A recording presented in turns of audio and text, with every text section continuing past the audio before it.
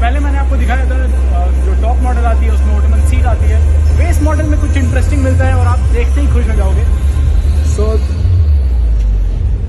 क्या आपको लगता है ये ऑटोमन सीट से भी बेटर है? एंड बहुत ही बड़ा सा आपको स्पेस मिल जाता है। एंड काफ़ी कंफर्टेबल भी है। One good thing about it is that अब जब इसको पीछे स्लाइड करोगे